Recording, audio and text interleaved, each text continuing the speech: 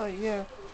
This is the and this, the zombie one was the one from California Gift Box Library. Too. Well, see, my next video will be soon.